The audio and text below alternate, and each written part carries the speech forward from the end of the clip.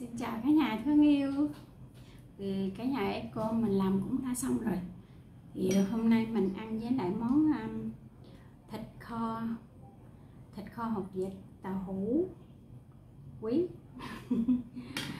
À cái này á, thì à, chồng mình thích ăn sao thì mua vậy rồi mình để vô hết nha cả nhà. Rồi ở đây thì mình có thêm một cái à, dĩa là bắp cải xào với thịt ba gỏi với lại tim tim heo cả nhà còn đây là một cái món khô cá sặc. Sáng mình nấu cháo trắng đó cả nhà sáng mình nấu cháo trắng à, ăn sáng cho mấy đứa con mình với chồng mình ăn sáng khô cá sặc mình ướp lạc lạc chiên cả nhà. Thì bây giờ mình xin mời cả nhà cùng dùng cơm với hiền nha. Đúng đó mày mời cả nhà cùng con với hiền nha cả nhà.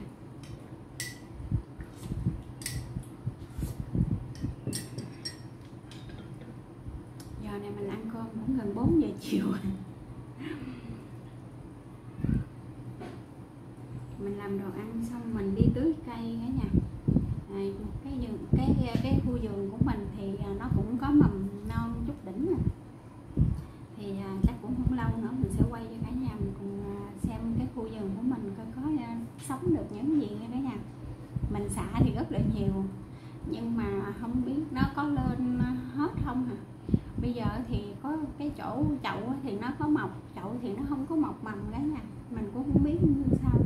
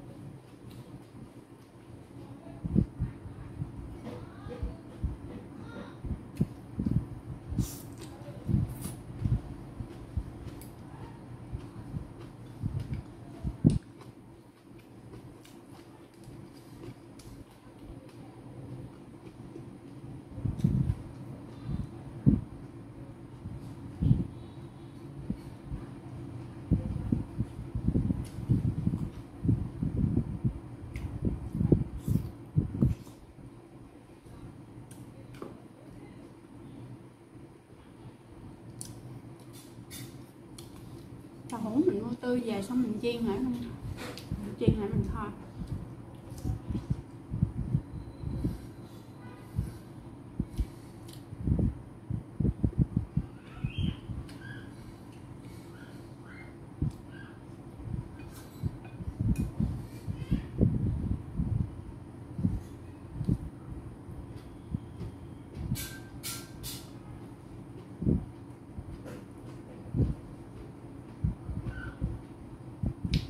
lâu xào bắp cải ngon quá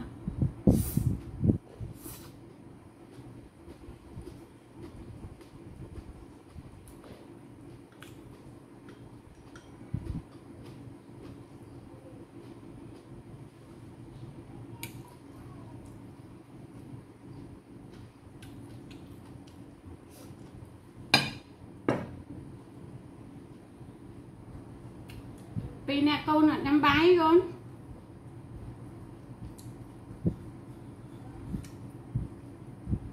Con mình nó cũng ăn vặt không nó cũng chưa ăn cơm sáng. Dạ.